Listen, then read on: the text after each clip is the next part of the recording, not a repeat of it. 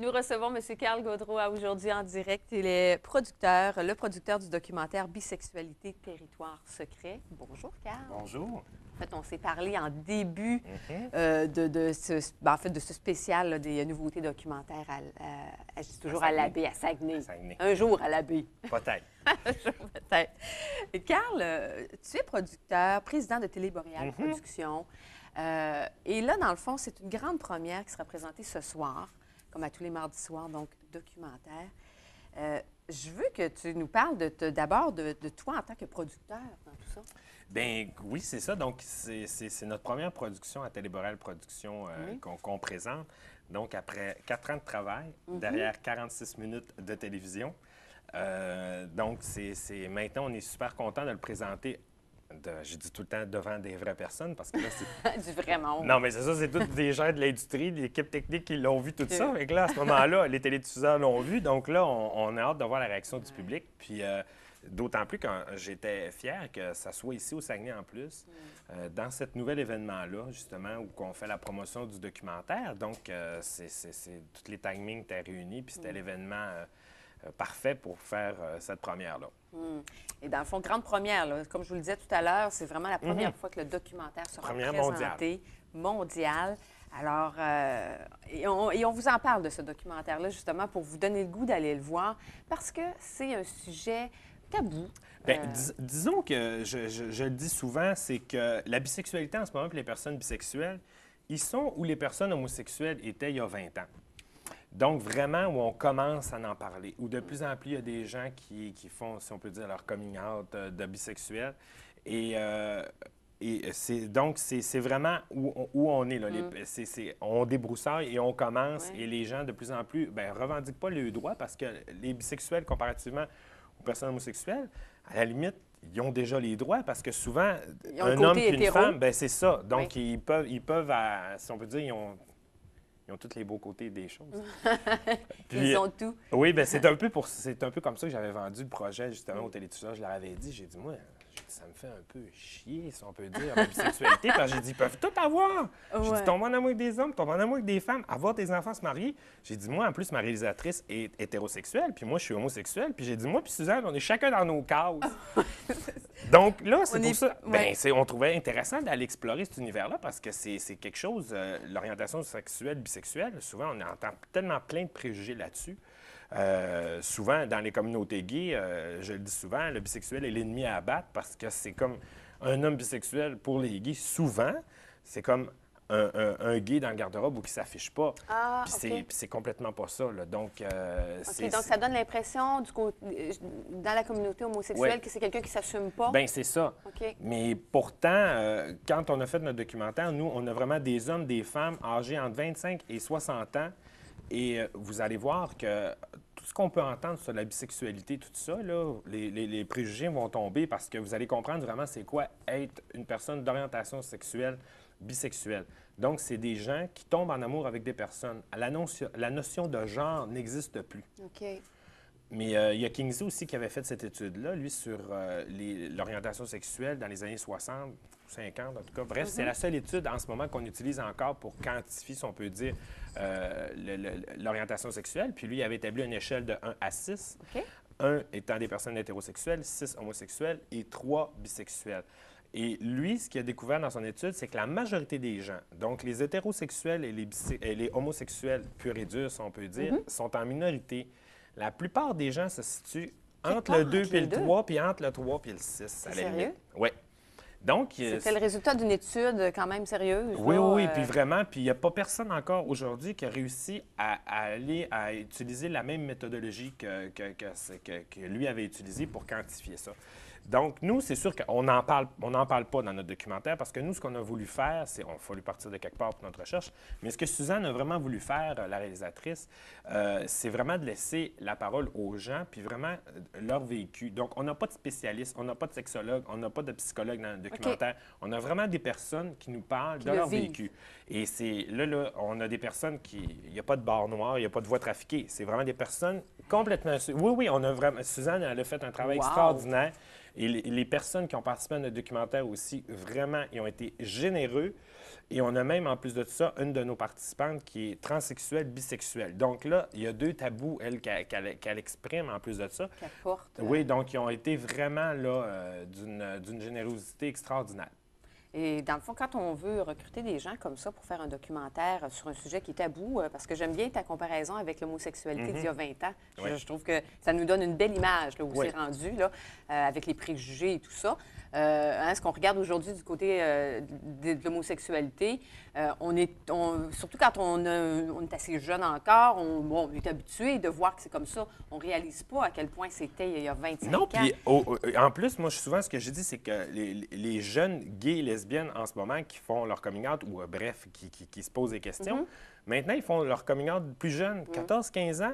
Pourquoi? Bien, c'est pas compliqué. Bon. Ils ont des modèles positifs dans la société. Avez-vous vu en ce moment dans un téléroman un personnage bisexuel, un politicien qui s'est ouvertement affiché bisexuel? Bon, ben voyez-vous, ça, ben, voyez-vous, ça a peut-être pris ça 20-30 ans pour que. on- là, on- écoutez, regardez juste au Parti québécois, ils ont déjà eu un chef qui était euh, homosexuel. Oui. Euh, il y a le, le- le maire de Paris a, ont eu un maire homosexuel. Euh, Mm. donc, Oui, il y a- oui, il y, a- il y a maintenant. plein de personnages, même dans les téléromans. Puis là, on est loin de, chez, de Christian de chez Denise aussi, là. c'est ça. Tu sais, avec le gros cliché. Mais encore là, voyez-vous, Denise Filiatro a été. A été Avant-gardiste, ben oui. oui. dire, ça l'a aidé quand même. une femme comme ça. Ben, c'est ça. Sais-tu, euh, j'aimerais ça qu'on écoute un extrait. Ah, ben oui. On en jase, là, puis je sais, là, on m'a fait signe tout à l'heure qu'on en écouter un extrait, puis après ça, je- ça va nous amener des questions. ça. Parfait. OK.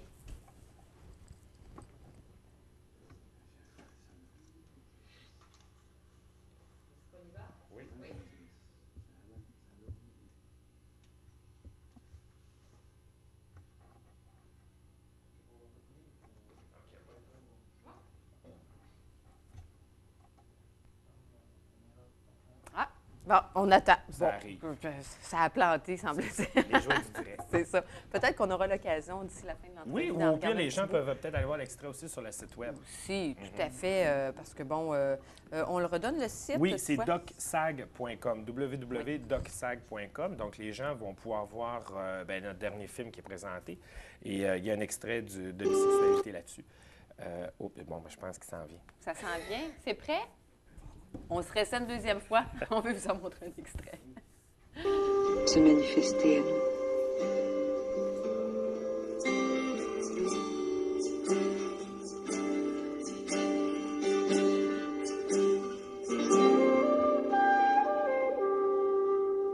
Nous, dans ce monde, cherchons encore des cartes, des boussoles, des GPS pour découvrir des réponses définitives à qui nous sommes.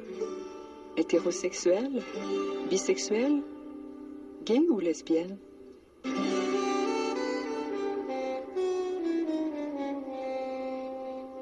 Dans le passé, j'étais attirée par l'autre sexe uniquement. Je me posais la question beaucoup, puis je me disais, bon, je m'intéresse aux gars, je dois être hétéro. Puis là, je- il y a quelque chose qui marche pas là-dedans pour moi comme identité, c'est pas vrai, c'est pas complet.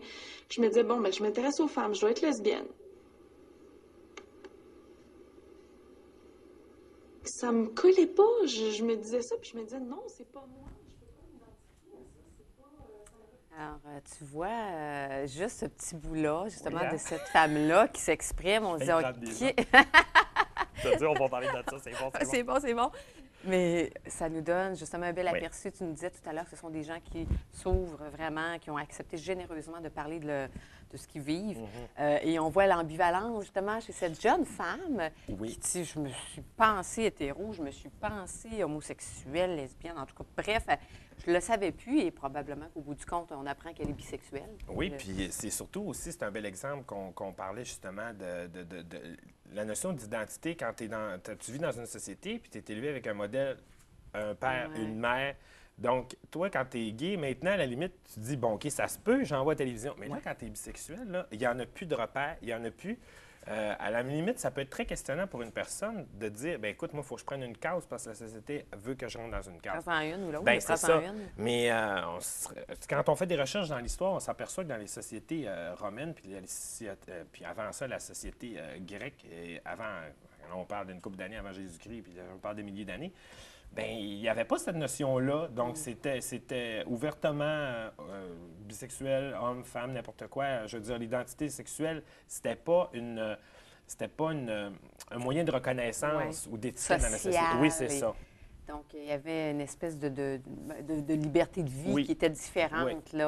Euh, les en gens étaient ça. moins pointés du doigt pour être justement dans un- une case ou une autre. C'est en plein ça, essayer de faire fitter les gens. ouais. Vraiment, en tout cas, euh, je te dirais que ça pique beaucoup la curiosité euh, parce que, euh, et surtout que tout à l'heure, tu nous as mentionné que selon une étude, quand même, qui date de plusieurs années, Oui. mais on serait presque tous quelque part entre le 2 et le, le 5, ou je sais Ben, pas. là. Oui, parce que voyez-vous, même à l'adolescence, souvent, les gens se posent des questions, puis il y en a, il y a des, même des personnes dans, au courant de leur vie qui vont explorer ça, puis ils vont peut-être avoir une relation homosexuelle, si on peut dire. Ouais. Puis au bout du compte, ils Ils se rendent compte oui, que non, euh, ben c'est pas ça, tu sais, mais ça a été plus fort qu'eux, il faut l'essayer puis l'expérimenter. ouais, ouais. Et là, je vous parle pas juste non plus de, de- de- de sexualité, c'est- ça arrive des fois des hommes qui vont avoir une attirance pour un autre homme qui sont hétérosexuels, puis tu te dis qu'est-ce qui se passe, tu sais. Fait que c'est peut-être là où ça entre en jeu, là, cette notion-là du plus ou moins, là. Eh, en tout cas, vraiment intéressant comme sujet. Euh, bravo, parce qu'il faut euh, avoir Ça le commence fort de- comme première production. C'est pas mal fort, vraiment. Première production euh, pour toi, Oui, en pour tant que producteur. Mais, euh, si je ne me trompe pas, c'est la dernière hein, pour, Oui, pour euh, les l'événement, nouveautés. les nouveautés documentaires. Donc, dernière soirée ce soir. Oui. Toujours présentée euh, à la Salle. Orphée de l'Atelier de musique de Jonquière. Et on dit foyer des Foyer aînés. foyer des loisirs. Des, des loisirs. Oui, foyer des loisirs. c'est là, je me dans le secteur. Arvida, donc euh, pour les gens qui connaissent le coin. Oui. Et euh, peut-être pour les gens de la baie, c'est pas compliqué. hein. Vous prenez l'autoroute, puis sortie boulevard Mellon, puis vous continuez sur le boulevard Mellon, puis vous allez vous retrouver facilement. Tout à fait. Euh, Oui. Je veux dire, c'est très simple. C'est une belle grosse bâtisse. Oui. euh, vraiment, là. C'est. Ben, c'est à côté de la- du, du siège social là, de, de la centrale de police de la ville de Saguenay. Oui, voilà. Alors, et c'est à 20 h. C'est à 20 h. C'est gratuit, c'est la beauté de la chose. Nous, il y, y a un petit, il y a un petit cocktail avant pour euh, le lancement du film, mais là, ça, c'est réservé. c'est vraiment parce que une grande première. C'est sûr ça. que c'est un événement pour vous. Oui. Mais vous piquez vraiment ma curiosité, en tout cas pour les gens qui vont pouvoir se déplacer ce soir. euh, Profitez-en, vous allez pouvoir jaser également de tout ça. Oui. Euh, et puis, à un moment donné, mon petit doigt me dit qu'on va pouvoir voir ça aussi ailleurs. Je peux vous dire, janvier, surveillez Canal Vie. Oui, hein, c'est ça. Je ne voulais pas le dire au cas où, mais en tout cas, on aura l'occasion Janvier, de février, ça. Canal Vie, vous allez pouvoir euh, en profiter. Merci beaucoup, Ça Carl. me fait plaisir. Merci. Ça donne vraiment le goût d'aller voir ça ce Ben, soir. je- Donc, je, voulais justement vous remercier parce que vous êtes toujours là, TVDL, pour notre événement, là, pour nous anciennement les nouveautés euh, de l'ONF, mais euh, Ouais. pour les documentaires à Saguenay. Là, on aime beaucoup votre collaboration. Bien, merci. On a été choyés, euh, de de- dans le fond, de recevoir les réalisateurs et réalisatrices comme ça chaque semaine. Merci beaucoup.